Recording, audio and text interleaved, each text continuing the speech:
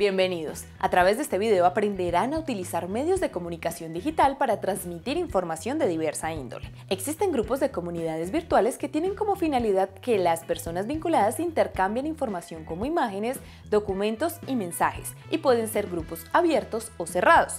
Estos se dan en diferentes plataformas, a través de páginas web, foros o redes sociales como Facebook y LinkedIn. Los grupos abiertos permiten el acceso de cualquier persona a la información que allí se comparte mientras que los grupos cerrados son de carácter privado y solo pueden acceder a ellos los miembros de la comunidad a través de una invitación de acceso.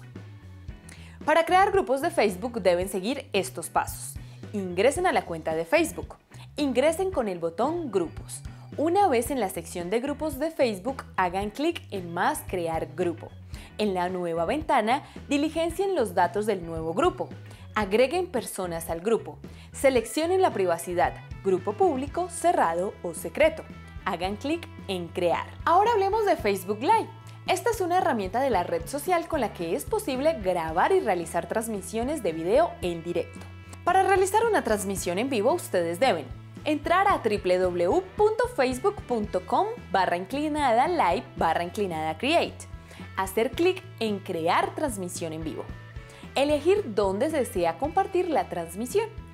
Siguiente, configurar la información básica de la transmisión, copiar y pegar la URL del servidor, hacer clic en transmitir. Finalmente veamos las tendencias en Twitter y visualización de opiniones. Las tendencias en Twitter son las palabras de las que se está hablando en determinado momento y en determinada zona geográfica a través de Twitter.